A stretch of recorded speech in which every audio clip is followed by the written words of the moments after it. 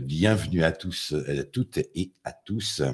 Et merci de votre participation donc à ce nouveau euh, webinaire, votre rendez-vous, les midis de la sécurité, 45 minutes pour se former et s'informer.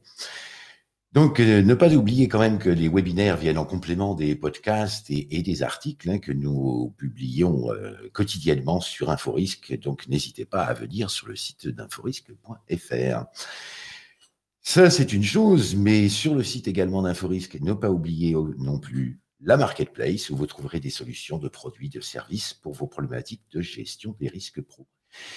Et ce qui est essentiel, c'est qu'en passant par la marketplace d'Inforisque pour euh, y trouver finalement vos, pour choisir finalement vos fournisseurs et experts, et eh bien vous contribuez à financer tous les services que nous offrons gratuitement et pour faire progresser la prévention et agir quand bah, je dirais, dans cette lutte pour les risques professionnels. Et voilà, comme ce webinaire qui est proposé gratuitement aujourd'hui.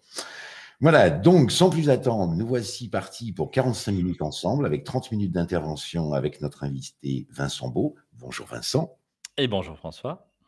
Et 15 minutes pour répondre à vos questions. Alors, ne pas oublier que en bas de votre écran, hein, donc en bas à droite, vous avez euh, un petit pictogramme avec le petit point d'interrogation. Maintenant, vous devez en avoir l'habitude.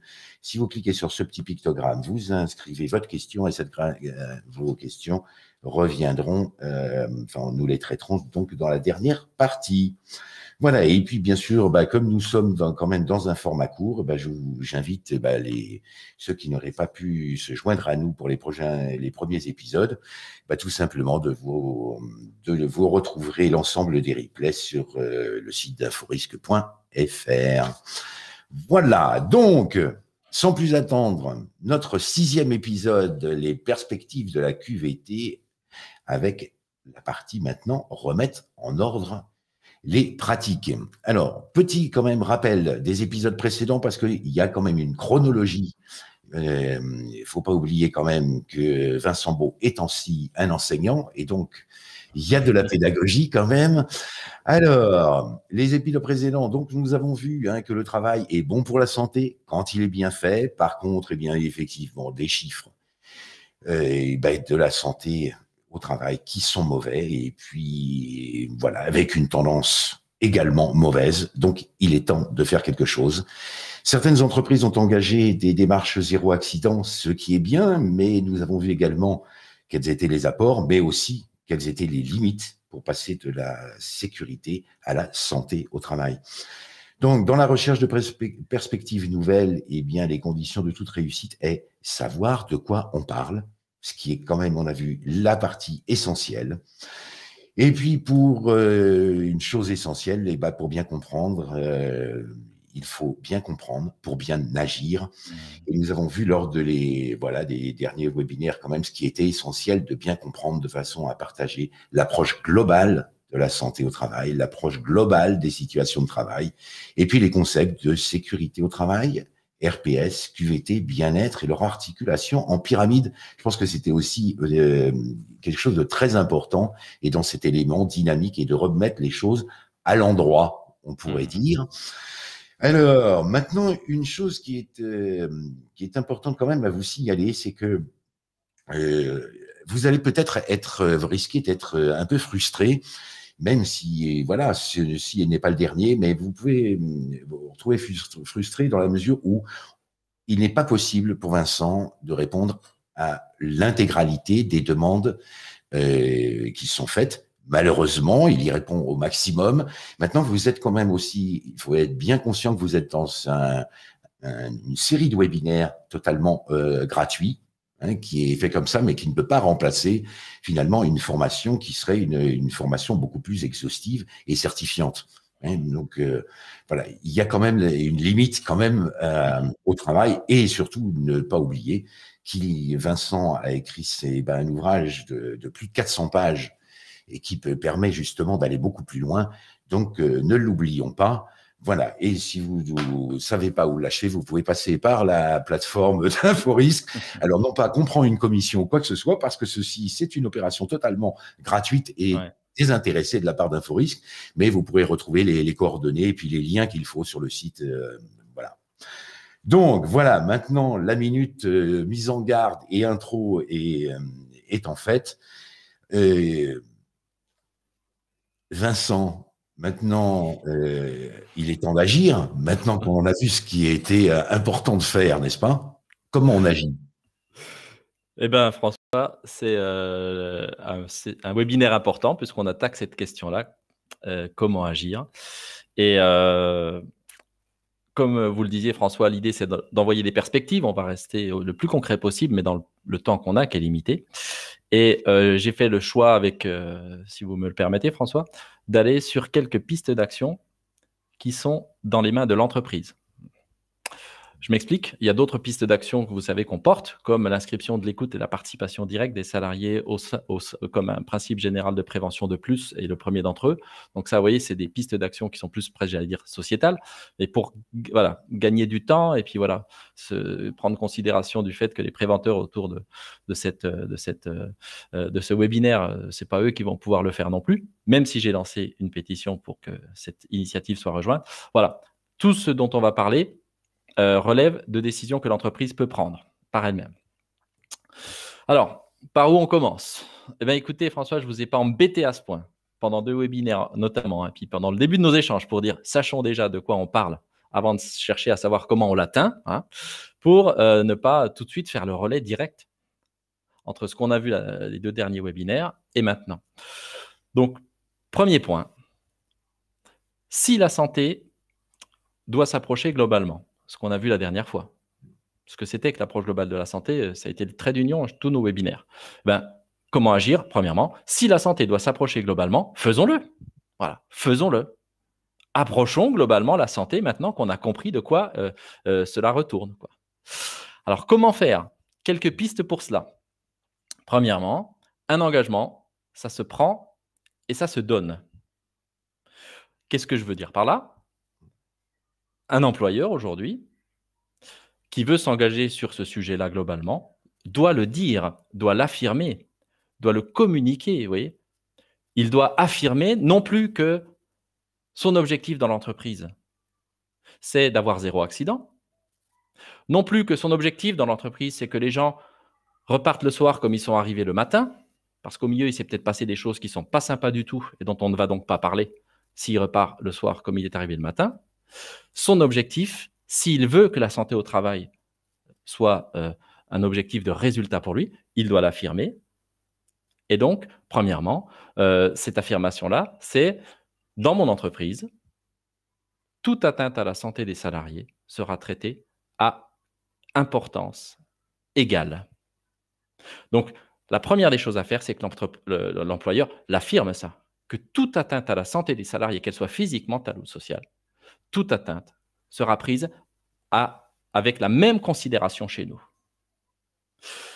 Donc c'est ça d'abord le point de départ. C'est d'affirmer cet objectif. Le, préventeur, il va falloir quand même que le préventeur, du coup, il aille faire euh, toc-toc là-haut.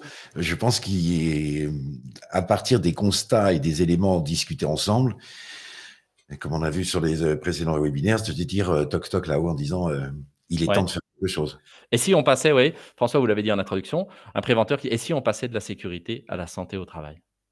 Et donc voilà, ça c'est énorme, si vous voulez, c'est le point de départ, quoi. C'est déjà, partageons cet objectif-là et affirmons-le et défendons-le. Et dans sa vision globale, hein, surtout pas dans sa vision euh, euh, euh, silotée telle qu'on l'a dénoncée, sa vision globale.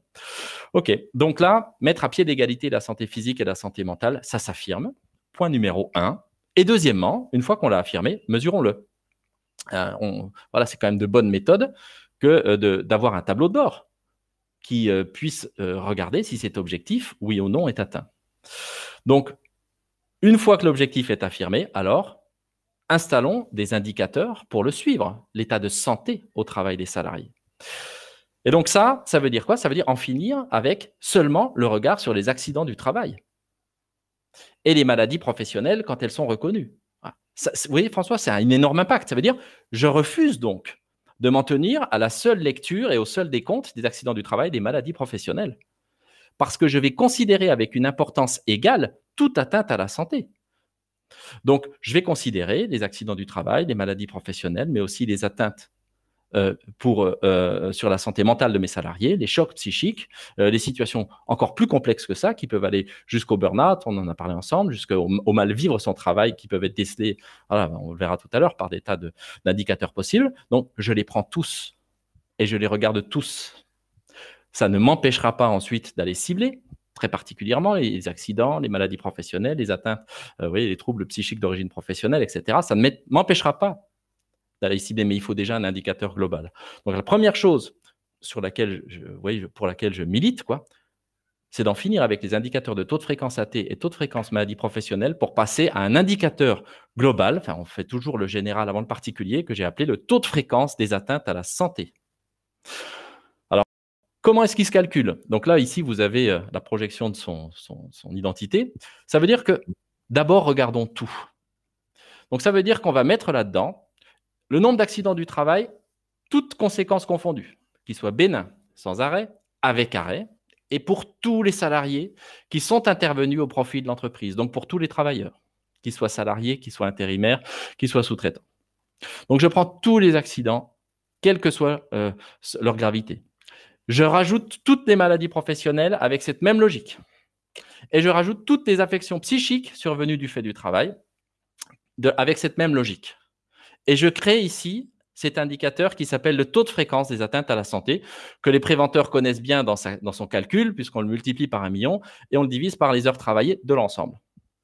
C'est-à-dire que je vais voir aussi mon, je vais voir aussi mon infirmière du travail, enfin mon infirmière en local, et lui dire euh, sors-moi ton carnet et dis-moi, euh, donne-moi la, liste de, tous ces petits bobos et toute cette action que tu fais au quotidien.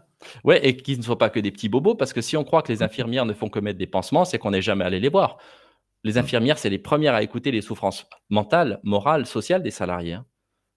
C'est les premières à avoir des salariés aussi qui ne se sont pas juste égratignés un doigt, mais euh, qui ont besoin d'aller décompenser, décompresser, euh, soit le pire, soit le moins pire, pour, euh, pour, bah, pour exprimer un mal-vivre au travail qui n'arrive pas à exprimer ailleurs. Donc voilà, ça, c'est voilà, une première action concrète. Alors évidemment, le fait d'inscrire cet indicateur, si je me mets hein, dans la position qui pourrait contredire sa, sa mise en œuvre, c'est oui, mais tout ne va pas pouvoir être enseigné. Très très bien. La deuxième question qu'on va se poser ensemble, c'est comment on remonte les données pour pouvoir construire cet indicateur de la manière la plus fiable possible. Mais aujourd'hui, il n'y a aucun indicateur qui existe, François, qui mesure l'intégralité des atteintes à la santé des salariés dans les entreprises et même euh, au niveau de l'État. Comment c'est possible? Donc voilà, posons-le, regardons l'ensemble, et ensuite on pourra aller tirer dans les coins pour voir particulièrement si c'est plutôt côté accident du travail, côté maladie professionnelle, côté atteinte euh, et troubles psychiques d'origine professionnelle que euh, doit plus ou moins orienter notre action. Alors, comment remonteront les données? Bah, Pour tout ce qui est accident du travail, il y a déjà un petit travail à faire, je m'excuse pour la redondance, c'est d'aller récupérer tous ces accidents du travail, vous l'avez très bien dit François, qui sont bénins et qui passent à la trappe de toutes, ces, de toutes leurs lectures. J'en ai parlé dans mon livre. le nombre d'accidents du travail inscrits, par exemple, dans les registres d'accidents du travail euh, qui sont délivrés par les CARSAT auprès des entreprises pour qu'elles puissent prendre les premiers soins à leur compte hein, mmh. ne sont pas remontés. Donc, il va falloir aller les chercher, cela. Et puis, il va falloir aller chercher euh, les données qui vont remonter du médecin du travail, qui va pouvoir remonter un nombre de salariés qu'il a trouvé atteints dans leur santé physique ou mentale. On a aussi euh, les données qui sont issues des chocs psychologiques qui peuvent être reconnus en tant qu'accident du travail. Donc, ils seront dans la partie nombre d'accidents du travail, mais on les distinguera comme étant aussi des affections psychiques. Et, eh bien, c'est quelque chose, alors ça va faire peur à beaucoup de monde, je le sais, mais il faut le communiquer, ça. Qui sait aujourd'hui qu'un choc psychologique peut être reconnu comme un accident du travail? Donc, vous voyez, euh, une insulte, une agression qui ne soit pas physique, peut être reconnue à ce titre. Ben, il est temps de le savoir pour les capturer, ces atteintes à l'intégrité des personnes qui ne sont pas directement physiques. Donc, voyez, poser cet indicateur-là, culturellement déjà, c'est dire beaucoup, même s'il est défaillant ou incomplet sur ses composantes. Ça pose la cible. Quoi. Donc, le tableau de bord santé au travail de l'entreprise doit changer hein, de niveau d'indicateur. Il doit remonter du plus général pour ensuite aller tirer dans les indicateurs particuliers. Euh, je ne l'ai pas mis dans cette formule-là, mais vous la retrouverez euh, au moins par logique, sinon dans le bouquin, c'est on a un taux de gravité des atteintes à la santé, un TGAS, hein, qui peut tout aussi bien être calculé. Et ça, c'est pour la partie, vous voyez, indicateur direct. Mais il faut la compléter par des indicateurs indirects d'atteinte à la santé des salariés, par exemple le suivi des arrêts maladie, le suivi de l'absentéisme, du turnover, les signalements qui peuvent être faits par les salariés dans les euh, lignes de hotline, hein, euh, les soutiens psychologiques qui peuvent être mis en place, c'est-à-dire euh, voilà, des indicateurs indirects qui peuvent nous permettre de dire là ça chauffe, là ça va pas bien. Donc ils n'ont pas la valeur d'une atteinte reconnue comme telle, mais ils ont la valeur de toutes ces atteintes qui peut-être pourraient l'être, mais ne le sont pas encore et pourraient dégénérer si on y prêtait attention. c'est du préventeur, c'est-à-dire qu'on va être sur, effectivement, on va peut-être euh, même d'une part, enfin, aller sur cette prévention des risques à venir. Oui. Si on est suffisamment bon dans ces, points qui chauffent. Comme voilà. Hmm. Donc en fait, François, pour le dire comme ça entre nous, euh, euh, si on prend la santé au travail comme objectif, il faut la regarder dans les yeux et globalement. Un enfin, une précision à laquelle je tiens beaucoup, en aucun cas, cet indicateur-là, quel qu'il soit, tout comme un indicateur existant de taux de fréquence euh, accident du travail ou un indicateur de taux de fréquence des atteintes à la santé ou taux de gravité, ne doit être un indicateur de résultat qui pèse sur les équipes. Mmh. C'est une grille de lecture de la production de l'entreprise, de la production de la prévention des risques, mais ça ne doit pas être hein, un indicateur de résultat sur la tête des managers et des salariés. Parce que, alors à ce moment-là, on le sait tous, ça ne fera qu'enfoncer la sous-déclaration euh, dont on a déjà parlé ensemble. Donc voilà, premièrement, si la santé au travail s'approche globalement, on le dit et on le mesure. Deuxièmement, je vais aller vite là-dessus puisqu'on en a parlé euh, la semaine dernière. Si notre objectif, c'est la qualité de vie au travail, maintenant que nous savons ce que c'est, alors évaluons-la. Et là, rien n'empêche aujourd'hui une entreprise d'aller donc, je le rappelle, la qualité de vie au travail, ce ne sont pas des moyens, c'est une perception, ce sont des, c'est donc pardon, un résultat. Mmh. Donc on mesure la qualité de vie au travail en écoutant ses salariés et en les questionnant sur, on l'a vu ensemble, hein, les cinq angles, euh, les cinq domaines qui vont nous permettre de savoir si, selon eux, leur travail a du sens, s'ils ont des bons outils, des bons locaux, la bonne organisation, les bonnes relations et le bon projet euh, qui leur permet d'apprécier leurs conditions de vie au travail. Ou pas. Donc là, voilà. Deuxièmement, si la QVT est un objectif qu'on partage, maintenant qu'on sait ce qu'on cherche, évaluons-la et surtout, évaluons pour agir. Si les salariés nous remontent des problèmes d'outils, et il y en a encore tellement, François, des outils physiques, des outils numériques qui ne sont pas là pour les gens qui en ont besoin, alors qu'on parle performance du matin au soir, il est urgent d'agir. Et puis, évidemment, sur l'organisation, les relations, etc. Donc voilà. Deuxième. C'est important de, rappeler que dans toute cette, cette analyse et cette avancée, c'est aussi, euh, et euh, comme on l'avait évoqué, c'est de la performance de l'entreprise. C'est-à-dire, alors c'est de la performance à moyen long terme de l'entreprise, mais c'est quelque chose qui va servir à l'entreprise. Donc s'il faut monter cette information, que le préventeur remonte l'information, il peut le faire monter aussi avec cette, cet axe de, de performance de l'entreprise. Complètement, François. C'est humain. Ça, si vous vous rappelez, dans notre premier webinaire, on avait identifié les cinq enjeux de la santé au travail pour l'entreprise. Et ces cinq enjeux-là, on les a conclus en disant que c'était rien d'autre que de la performance globale. Donc là, euh, c'est la toile de fond, en fin de compte. C'est ce qui nous unit tous et c'est ce qui peut donner envie euh, d'agir si on est suffisamment bon. Mais on a beaucoup, pas mal parlé ensemble pour le démontrer. Donc voilà. Deuxièmement, maintenant qu'on a compris ce qu'était la QVT, voyez, c'est en lien direct avec le fait de bien comprendre. Agissons bien, évaluons-la telle qu'elle est, et puis faisons-en quelque chose. En fait, la QVT va être une façon d'aller chercher éventuellement des éléments déterminants du travail qui n'auraient pas été euh, bien prévenus en termes de risques.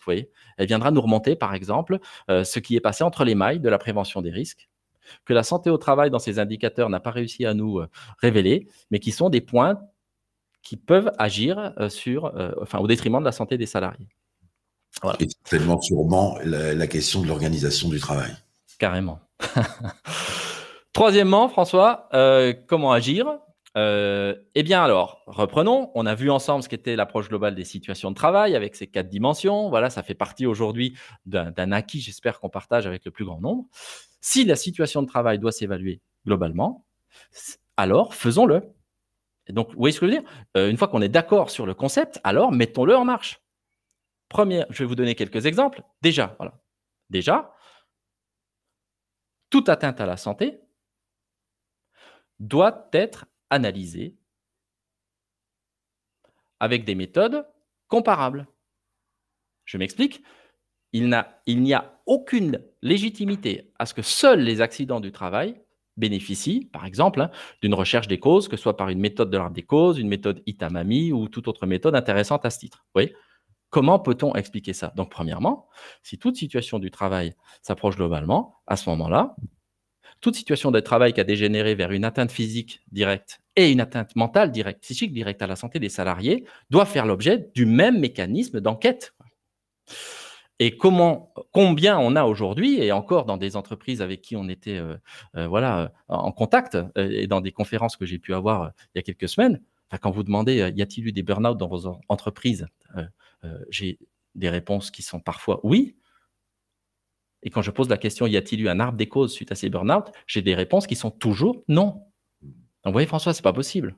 Donc voilà. Premièrement, si on les mesure, quand elles apparaissent, on les traite à équivalence.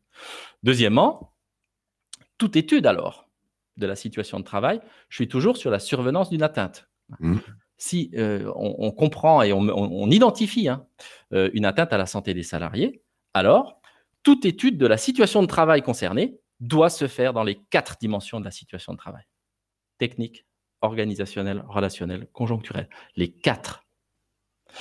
Ce n'est plus possible d'en rester à ces études d'accidents qui remontent sur est-ce qu'il euh, y a un problème technique, est-ce que l'outil déconne est-ce que la procédure était respectée? Est-ce que la personne respectait ses EPI Et si on a euh, un outil qui déconne, on répare. Si la technique euh, est bonne, donc on répare. Enfin, est mauvaise, on répare. Si la procédure n'est pas respectée, à ce moment-là, on fait un rappel de procédure. Et si le, pays n'était pas euh, porté, à ce moment-là, on réexplique aux salariés, voire même on, on, on, le sanctionne ou on lui fait comprendre qu'il a commis une faute.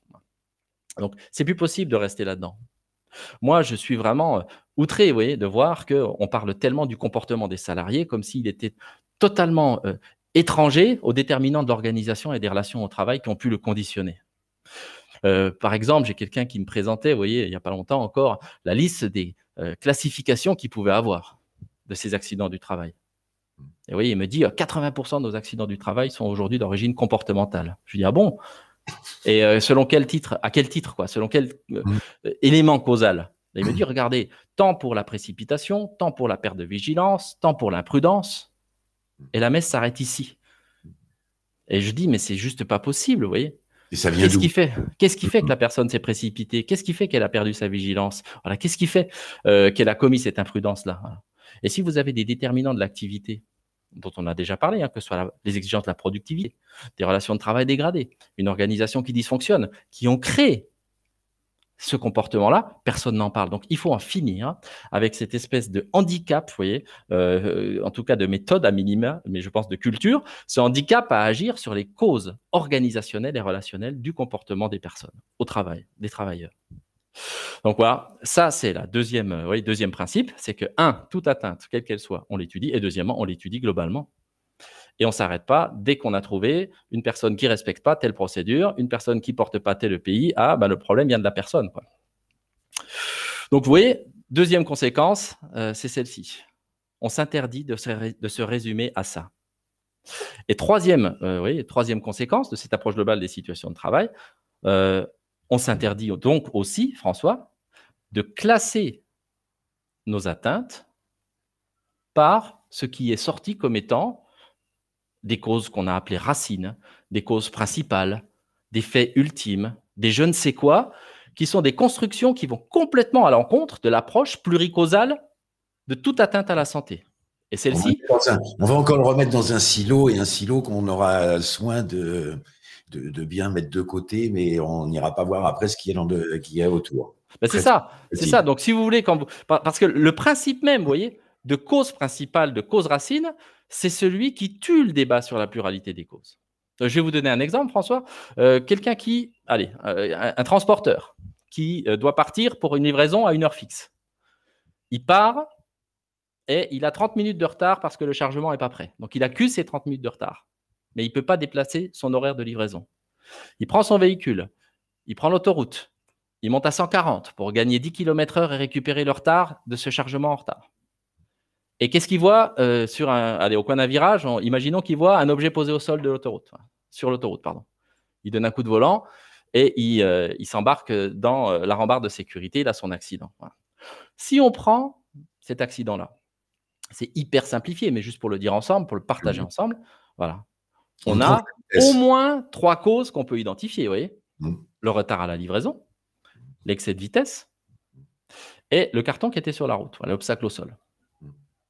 Eh bien, conceptuellement, quelle est la cause principale de cet accident?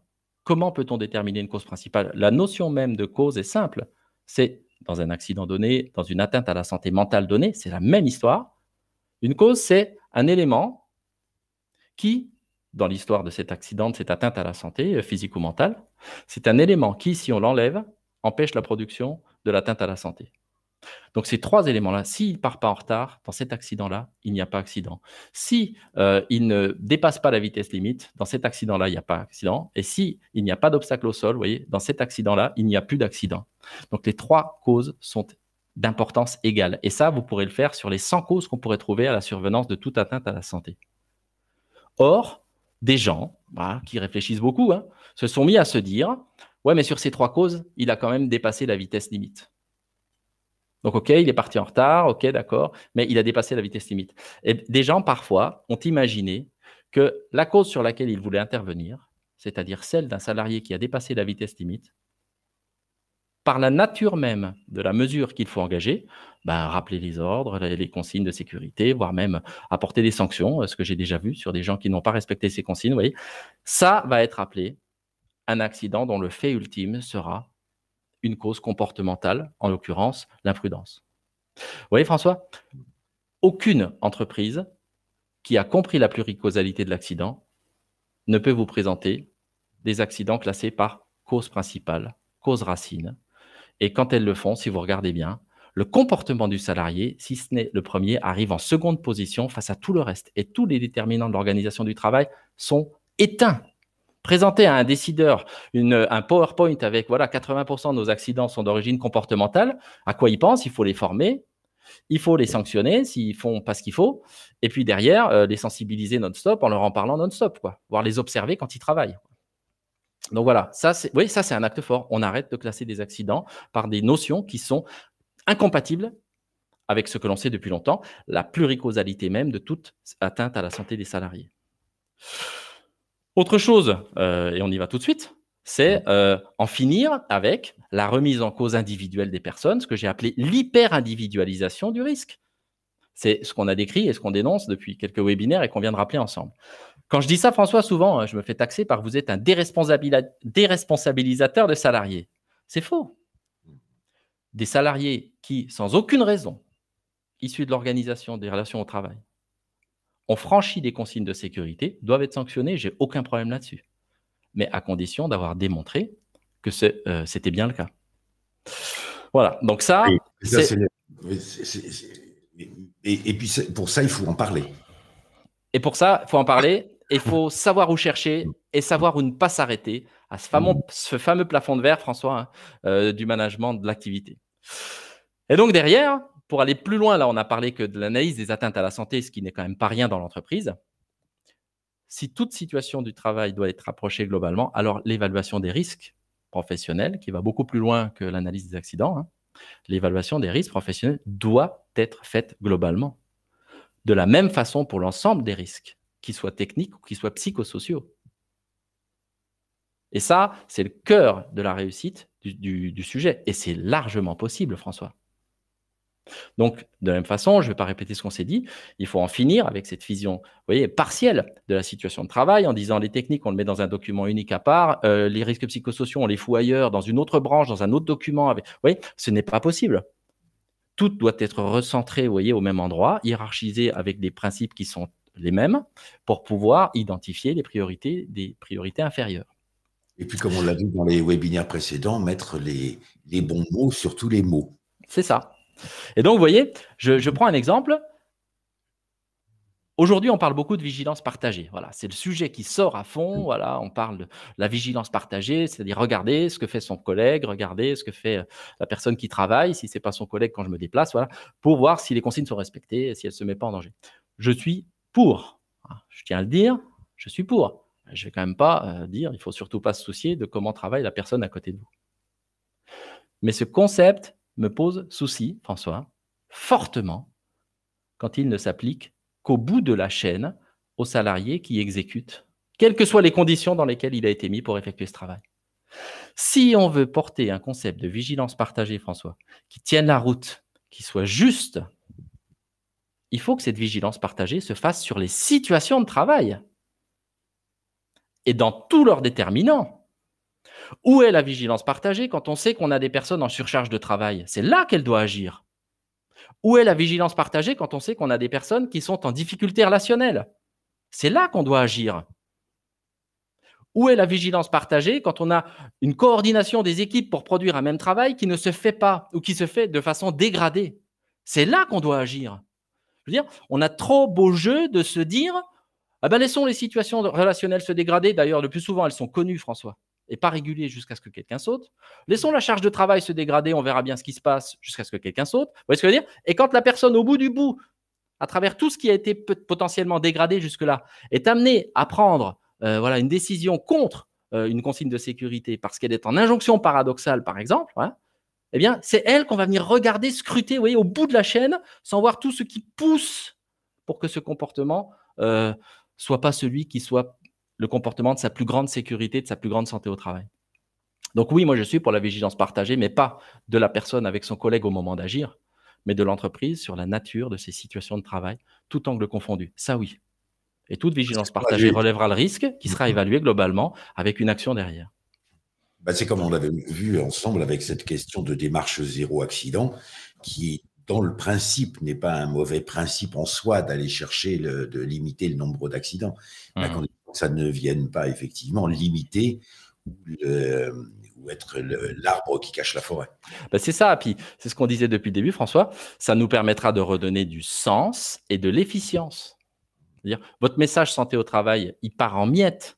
Quand on a un salarié qui tous les jours vit une organisation du travail qui déconne, vous voyez, pour lui permettre de bien faire son boulot, ce que tous les gens que j'ai rencontrés en entreprise veulent faire, bien faire leur job.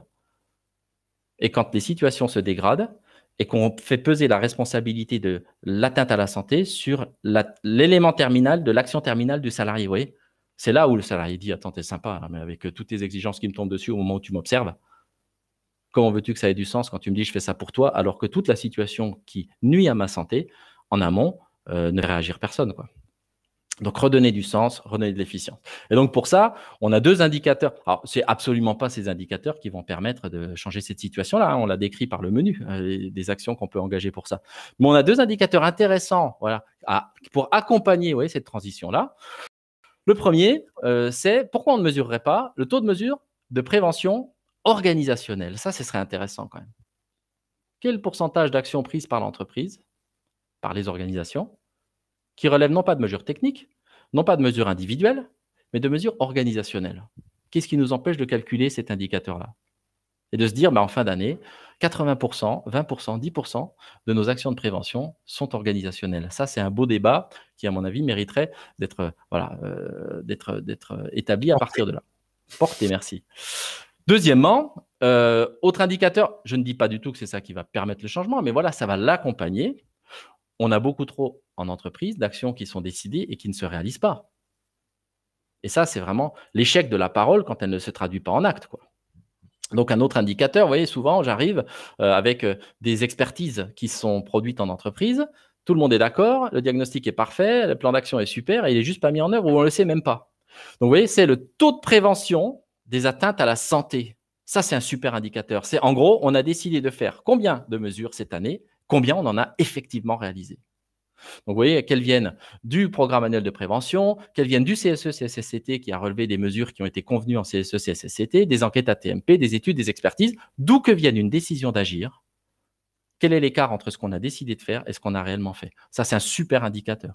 quand vous posez la question aujourd'hui, franchement, c'est plutôt sidéral comme silence. Mmh. Donc voilà, deuxième vague. Alors, si je finis pour laisser du temps à l'échange, quoi. Oui. Ça veut dire quoi? Ça veut dire que quand je me mets à la place des gens qui nous écoutent, ils doivent se dire il est bien gentil, mais comment on fait ça, nous, qui ne sommes pas décideurs, Très souvent, c'est la question qui m'est posée. Et je dis bien, vous avez raison, mais enfin, là-dessus, on est tous à la même enseigne. Sans décision de l'employeur, tout ceci ne se produira pas ou à petit effet ou à petit volume. Donc, cet employeur-là, on doit le convaincre de l'intérêt qu'il a à considérer globalement la santé des salariés et à mettre, après ses paroles, des actes en place. Donc ça, ça veut dire quoi? Ça veut dire que euh, là où nous, on peut agir, c'est être ceux qui lui donnent cette vision-là. Si nous-mêmes, on l'a pas, lui-même ne l'aura pas. Hein. Donc voilà, rien ne se fera sans l'employeur, c'est sûr. Et une fois qu'il aura décidé d'y aller, ça ne se fera pas sans compétences, ça ne se fera pas sans moyens, et ça ne se fera pas parmi tous ces moyens. Et c'est là ma conclusion, François, ça ne se fera pas sans créer des espaces de dialogue dans chacune des équipes de l'entreprise où on écoutera ce que les salariés ont à dire sur la façon dont ils vivent leur travail dans l'environnement technique d'organisation de relations au travail à minima. On n'évaluera pas tout ce qui remonte comme problème de chacun des salariés pour y apporter des réponses concrètes ensemble, collectivement. Les gens ne sont pas bons qu'à remonter des problèmes, ils sont aussi une forte puissance de recherche de mesures, de solutions, dans des rites intégrés au management de la performance. Et ça, c'est l'objet du prochain euh, webinaire qu'on a décidé ensemble, François, de consacrer presque exclusivement à ça. Mm. Mais c'est la partie indispensable, cette écoute et cette évaluation euh, euh, et cette action suite à l'écoute des problèmes qui remontent. C'est la partie indispensable, c'est la génération de ces espaces de débat dans chaque équipe sur la façon dont ils vivent leur travail de façon globale. C'est la condition de réussite d'une démarche santé au travail. Parce que l'atteinte à la santé mentale s'écoute, elle ne se voit pas, donc il faut l'écouter. Parce que euh, le travail réel, l'organisation, les relations, la conjoncture du travail, tout ce qui peut faire mal dans ces euh, euh, dangers qui ne sont pas objectifs, mais beaucoup plus subjectifs, s'écoute. Et troisièmement, parce que la qualité de vie au travail, si c'est une perception, elle s'écoute. Si je rajoute à, tous ces trois arguments très techniques le quatrième, c'est que toute contribution d'un salarié à l'évolution de son travail, à la nature même du contenu de son travail, ben, c'est en puissance un élément d'adhésion à l'entreprise, un élément de sens, euh, un élément de performance globale de l'entreprise au profit de cet engagement qu'elle génère, eh bien, euh, alors faisons-le. Ça se après avec les bons outils. Alors, je, je, vais être obligé de faire un peu le maître du temps, hein, parce que sans ça, on va être euh, passionnant comme toujours, Vincent. Euh, pardon de voilà d'être obligé voilà de, de, de, de, couper un peu, mais je pense que effectivement vous avez la gentillesse et ça j'attire l'attention de tout le monde. N'oublie pas et n'oubliez surtout pas le prochain épisode parce que là vous allez avoir de la suite et justement dans cette, euh, je pense qu'il est important, vous avez une méthode. Vous avez défini une méthode, Vincent, pour euh, effectivement interroger et remonter ces informations, parce que c'est bien beau d'avoir des échanges avec les, avec les salariés, mais par contre, il faut savoir les remonter, il faut savoir le classifier. Je pense que c'est l'objet de notre, de notre prochain webinaire. Complètement, François. Lancer une démarche participative dans une entreprise qui se centre sur la santé des salariés, ça ne s'improvise pas. Hein. Et donc, donc, oui, il y a des conditions de réussite qu'on pourrait évoquer la prochaine fois. Alors, donc, euh, tout de suite, nous allons passer euh, aux questions. Alors, tout de suite, quand même, euh, oui, pour le parler, parce que je disais la prochaine fois. Donc, notre prochain rendez-vous, ça va être le lundi prochain, donc le 6. Et nous allons avoir après, pour conclure un peu sur cette, enfin conclure, s'il est possible de conclure, en tout cas pour faire, pour terminer la fin d'une première série d'échanges, euh, nous aurons le 13 mars également 45 minutes d'échange, donc euh, principalement que Vincent Beau réservera pour répondre à vos questions.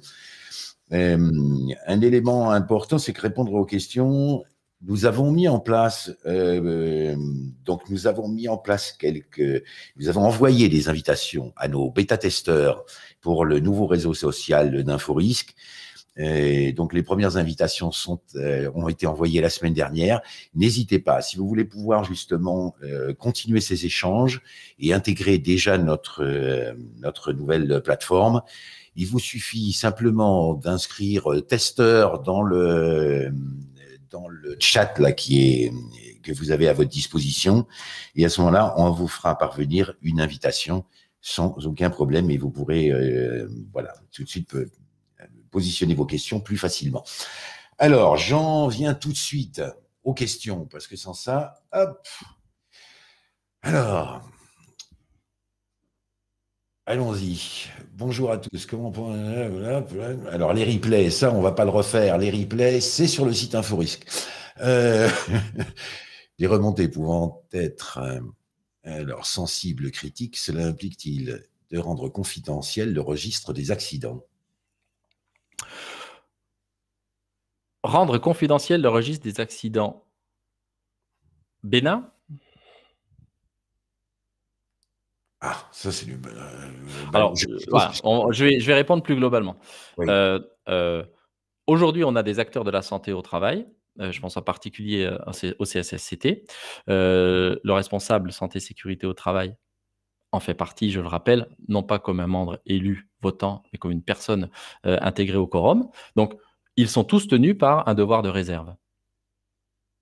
Donc aujourd'hui, en entreprise, toutes les informations relatives à l'atteinte à la santé des personnes sont identifiées pour les personnes concernées.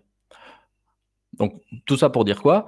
Rendre confidentiel le registre des accidents, je dirais que ce serait une mauvaise euh, nouvelle, puisque si on le rend confidentiel, c'est pour protéger la personne qui s'est fait mal des éventuelles conséquences euh, euh, qu'elle pourrait subir. Donc, il y a sûrement des cas où il faut conserver cette confidence au sein de l'espace, ben, des cas critiques, euh, sur des comportements particulièrement déviants ou sur des atteintes particulièrement fortes à la demande des personnes. Ça, euh, on peut tout à fait l'entendre.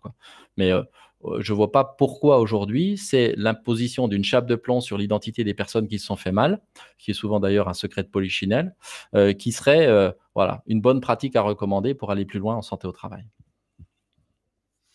Alors, il y a une question même, dans la même veine on pourrait dire, c'est donc euh, comment faire pour que les, affections euh, psychiques soient signalées? Ben, Déjà, si le chef d'entreprise s'y intéresse, le dit, le demande, c'est énorme. Donc, premièrement, euh, c'est pour ça qu'on parle de l'engagement du dirigeant dès le début, hein, c'est que si déjà c'est dans l'objectif, vous voyez, non hiérarchisé entre le physique et le mental. Hein. Si déjà c'est l'objectif de l'employeur, alors euh, ça va éveiller des personnes au fait que ce qu'elles subissent comme atteinte psychique doit être remonté. Deuxièmement, on a des canaux de remontée possibles de ces atteintes-là, on l'a dit tout à l'heure, encore faut-il savoir, qui peuvent déclarer des chocs psychologiques quand c'est aussi fort que ça comme accident du travail, et que ça doit être déclaré comme tel, point 1. Mais deuxièmement, si on ne va pas jusque-là, c'est qu'ils ont des personnes, ça peut être, s'ils subissent ça de la part des tiers, leur manager qui est préparé à les recevoir. Ça peut être, s'ils ne sont pas suffisamment en confiance, ça peut être euh, des euh, représentants du personnel, évidemment, qui sont quand même euh, là pour ça. On a des préventeurs en entreprise qui sont là pour ça. On a un médecin du travail qui peut être sollicité aussi pour ça. Je veux dire, on a beaucoup de personnes qui. Mais en gros, si l'objectif n'est pas affirmé, il a beaucoup de risques de ne pas être atteint, quoi.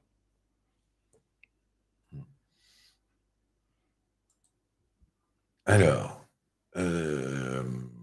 auriez-vous des exemples Alors, on a une question. Auriez-vous des exemples et des témoignages d'entreprises qui sont passées à cette écoute des problèmes, à cette analyse globale des situations? Alors, Pascal, oui. Rendez-vous au prochain webinaire pour, ne pas cramer tout ça. J'ai vu aussi Nathalie, qui, euh, je reconnais, est une fidèle.